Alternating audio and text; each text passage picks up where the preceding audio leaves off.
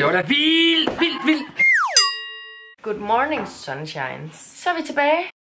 Godmorgen venner, velkommen til en ny vlog på min kanal, og velkommen til, at det i dag er blevet en dag, jeg faktisk har ventet på. Og det er tirsdag den 24. januar, fordi i dag, der har mig og Jule måtte afsløre vores smykkekollektion, som vi har arbejdet på i over et år. Det har sagt med været længe undervejs. Og så kommer den ud om en uge og en dag. Det vil sige den 1.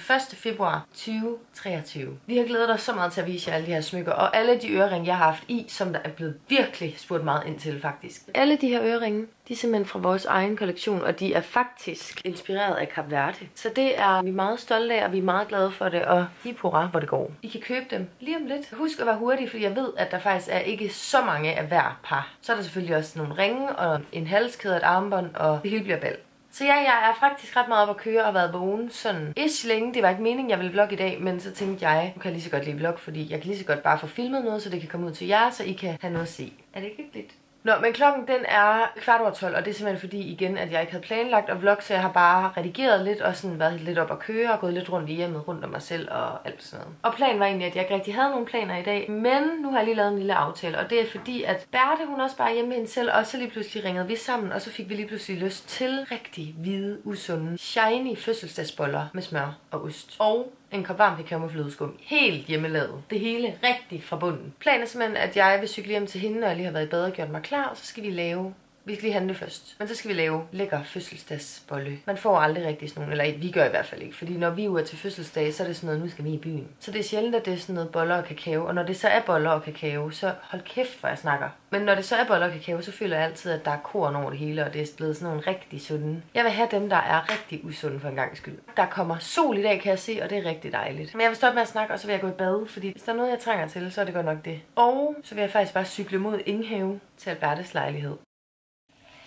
Ding. Skål. Nå, men kan I fornemme, der er sol? Det er det mindste dejligt. Mit hår det er vådt, fordi jeg er næsten lige kommet ud af badet. Og nu vil jeg bare lige ikke gøre så meget ved mig selv, fordi det er tirsdag dag, og jeg skal bare være sammen med pigerne. Cellejoiner. Det er fucking hyggeligt. Det ved jeg ikke, om jeg sagde før. Det tror jeg faktisk ikke. Det er så sødt, at folk skriver tillykke med, at vores kollektion endelig er ude. Vi har jo vidst det i 100 år. Men nu sker der det, at jeg gør mig klar. Og så skal jeg afsted. Jeg er spændt på kulden. Jeg er altid spændt på vejret egentlig. Spændingen i min hverdag. Hvor koldt er der i dag? Så har man ikke så meget at gå op i. Klokken den er også blevet noget, som den ikke skulle blive. Altså tiden den går for hurtigt, og jeg har været langsom. Jeg har haft en langsom morgen, og det må man faktisk gerne. Noget andet det er, at jeg har lige aftalt med Emilie, at vi skal ses i morgen. Det er for hyggeligt. Vi er seriøst for dårlige til at ses. Jeg ved ikke hvorfor, fordi vi hygger jo sygt meget, når vi er sammen. Jeg tror bare, at vi begge to sådan lidt har hovedet op i røven nogle gange. Ej, den her sang er så god. Nu skal I høre. Den er meget speciel, men jeg kan virkelig godt lide den.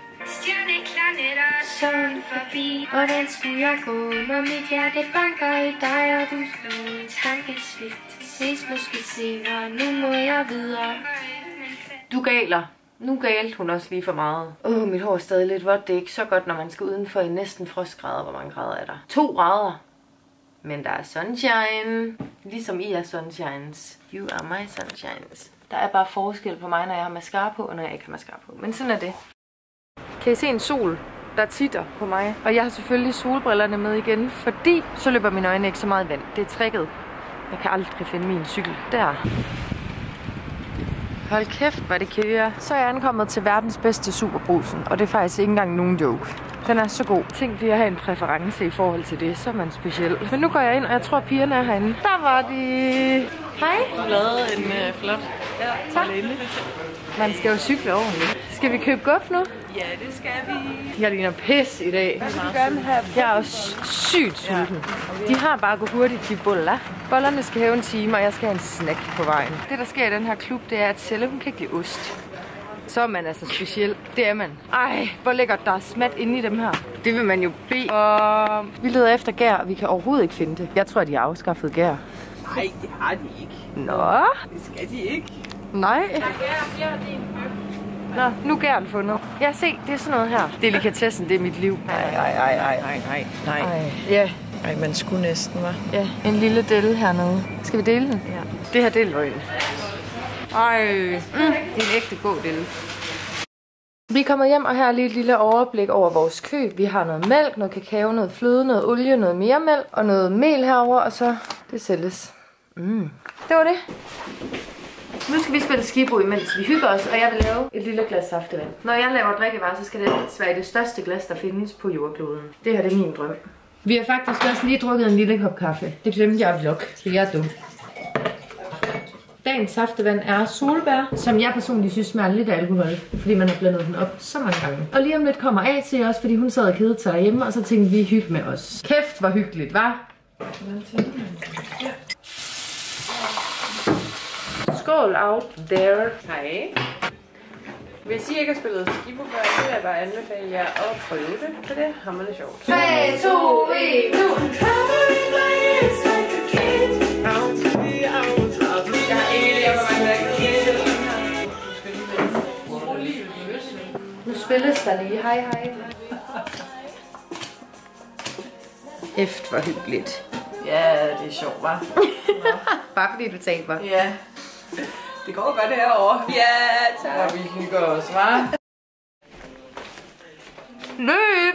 Hvad foregår der? Det er dit kamera, der er noget galt med. Hallo? Hvad sker der? Det er jo ikke svømmehal. Hallo. Hallo? Nu er der bolledej klar til at blive formet og ældet og pusset og nusset om. Hold da op. Wow! Den er her. Mm? Nu kommer jeg se. Fuck, den ser god ud. Det er en dej, vi har lukket røven. Hej A to the sea. Ja, det skal lige trykke. Den er da hævet meget, hva'? Den er lidt større end os til sammen. Hej Grete. Nu er stjernen kommet over alle stjerner. så... Det er sådan noget, hun kan lave sådan en flætning. Hvis man laver sådan en på mig, så bliver det sådan Ej, skal vi lige prøve? Ja, nu bliver det funky. For det skal være sådan en... Den skal slikkes tilbage. Ja, det skal være sådan en slikke. Vi skal lige have den over. Jeg er spændt. Ja. Den skal jo heroppe, ikke? Helt. Og så bliver jeg skaldet. Det her meget skævt. Ja, det tror jeg. Se lige, hvor flot det her er. Spændende. Show dem. Det er jo det pureste håndværk, vi har. Er det flot? Det er stritter lidt. Ja. Ej, jeg kan mærke, at den er helt stiv. Du er ikke så god med det. Nej, se det der, jeg mener. Prøv at komme med dit. Vent om. Så se Asis, det er sådan en, jeg vil have. Din kan falde. Sådan her, min den er bare ding.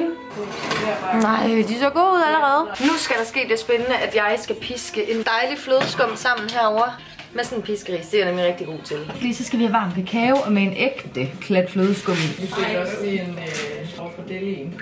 Sådan en, mm. Med hele der. Så for satan, så er der lavet flødeskum. Ups. Fordi at jeg er 12 år gammel, AK5, så skal jeg slække dem her rene. Vil du have en til? Nej. Og hvad sker der herovre i den anden del af kitchen? Vi er ved at lave varm kakao. Nej. Vi holder fødselsdag for mig og Bertel lige nu. Fordi vi har fødselsdag om et minut. I dag er det dig. Så er vi simpelthen ved at være her. Der er jo ikke noget, der mangler på det bord. De ser jo røvgode ud. Ej, jeg har ikke taget tid. Så er det spisetid. Tak skal du have. Mm. Lækkert. Det her er jo prøvelækkert. Ja,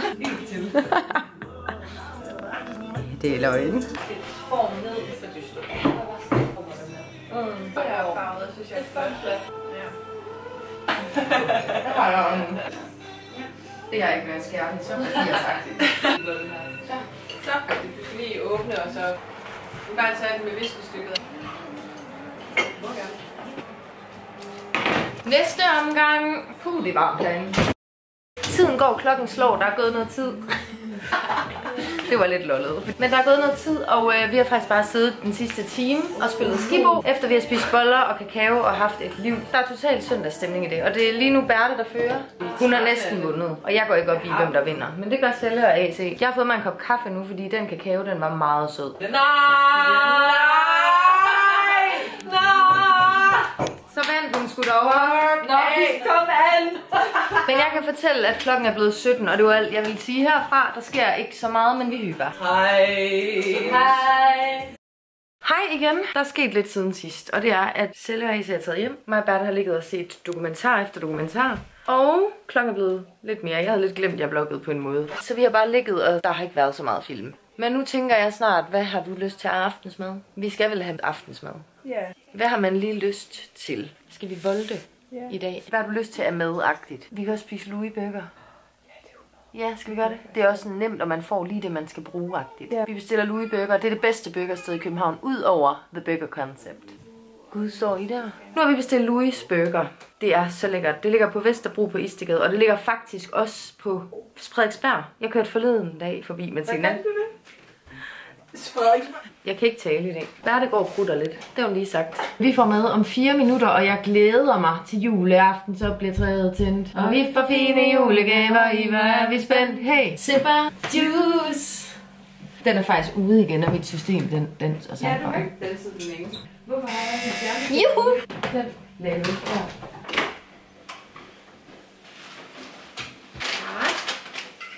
God aften. Juhu! Fuck, hvor lækkert. Man får fritterne i sådan en her, og det synes jeg er funny. Vi mangler to dip. Har du remoulade? Ja. Og så lige en iskold Pepsi Max til, og så kører bussen. 3, 2, 1, og så har man spist. Det går hurtigt. Prøv at tænke, hvis vi havde brugt en time på at lave det her med. Det er det, det er derfor, jeg hader at lave mad, for det tager et minut at spise. Man kører det jo ind, som man aldrig har kørt noget ind før. Nu begynder vi at have sådan en søndag, der virker som om, vi er tømmermænd, faktisk. Nogle gange så føler jeg også, at jeg er tømmermand, uden at have det. Det, der skal ske nu, det er, at Berthe, hun har ikke set min sidste blog, jeg har lagt ud. Hun følger trofast med. Det er den, hvor jeg er i Odense. Det er ikke den sidste, når I ser den her. Der er kommet en ind imellem. Det er også fucking ligegyldigt. Men hun har i hvert fald ikke set den sidste blog, og den skal vi se. Der er noget, du ikke kan lide ved den, vi skal til at se nu. Hvad tror du der? Den er for kort til dig. Den skal være over 17 minutter. Ja, og den er Helst 14. gerne over 20. Nej, det, altså det er faktisk det værste. Så gider Hvis det er under ikke. 15, så er det sådan her, den er virkelig om Ja. lidt, jo, det er ligegyldigt at sætte den på. Nu er vi dem, der ligger os lige og aldeles her. Ja, tak. Ej. Godnat. Du er så meget en type lige nu. Jeg er en mælk. Er du med? Mm, helt aldeles. Nu vil jeg bare lige fortælle jer, at klokken er blevet halv ni, og nu cykler jeg hjem, og det kan jeg ikke lige helt magt. Så vi ses bare. Hej hej Grete. Farvel. Hej. Så er jeg kommet hjem til, at der er en, der hedder Baraka Dura, der har lavet hovedrengøring i hjemmet. Ja, tak. Sådan bare. Det er sgu da luksus. Den cykeltur er så kold, at det vil ingen forstå. Se, hvor han skrubber. Den gamle. Den der dufter helt. Har du ikke? Der er god musik og det hele også. Hold kæft, der er styr på sagerne herhjemme. Nej, det er rigtigt. Jo, vil I se mine bryster? Ikke rask, jo. Det var også bare for sjov. Man kunne ikke se noget, jo. Nå, ej, jeg troede, du viste den, Det Tække. kunne jeg godt finde på, og det ved du godt. Jeg er i hvert fald kommet hjem nu, og det er rigtig dejligt. Det har været meget stille og rolig dag i dag. Det håber jeg også har været hyggeligt nok for jer, at der ikke er sket sådan vildt meget. Så vil jeg faktisk afslutte den her vlog, fordi der kommer ikke til at ske mere. Jeg skal bare hygge mig nu og bare ligge og slappe af og chill. Klokken er faktisk også blevet halv 11, så den er ikke for lidt. Men jeg håber, at I har det dejligt, og at I har nyt at se med. Hvis I noget her til videoen, så gå ned og skriv boller og kakao. Ellers så ses vi bare igen i min næste vlog. يلا باي.